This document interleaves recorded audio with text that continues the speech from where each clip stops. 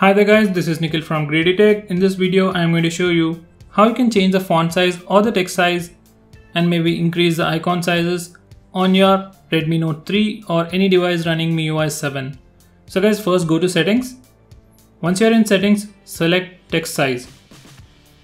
By default, all the Redmi devices are set to small. So from here, you can either set it to extra small or else you can go all the way up to double XL and now this is how the text looks.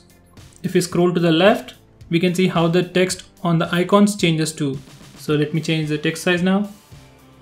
So we get this live preview of how the text size will be on the icons when we change the text size.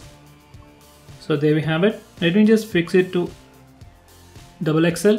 Now this is how the phone looks. If we go to the home screen, we can see that the icon sizes have been slightly varied and the text on the icons have also been increased.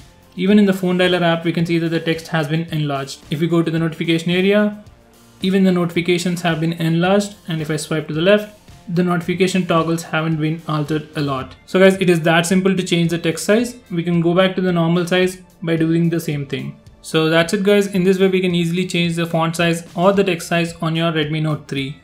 If this phone is going to be used by some elderly person or by someone who doesn't have an experience of using a smartphone, you can enable this light mode. So just go to settings and enable the light mode from here. And now press OK. Now the phone will reboot and boot into the light mode. So guys, now the device has restarted. This is the lock screen. Now let me just go back to the home screen, the light mode. So this is the light mode. As you can see, the icons have been increased greatly now we have this windows kind of a tiles view but they are not live tiles. So let me just go to the phone dialer.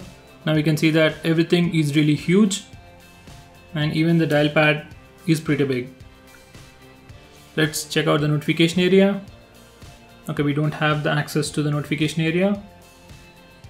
Let's go to settings and this is pretty much what we have. Now if you want to disable the light mode you can come to the settings and select light mode and just Click on this toggle and press reboot and then it will exit the live mode. In this light mode you will definitely get a much better battery life because a lot of the services are blocked in the background.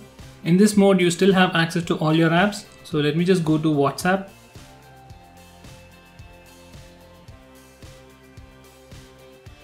Now we can see that even though it's the light mode, WhatsApp is still normal it's not altered in any way. So only the things that are related to MIUI have been changed in this mode. So that's it guys. Thanks for watching this video. If you like this video, give me a thumbs up and share it with your friends and subscribe to my channel to see more videos just like this.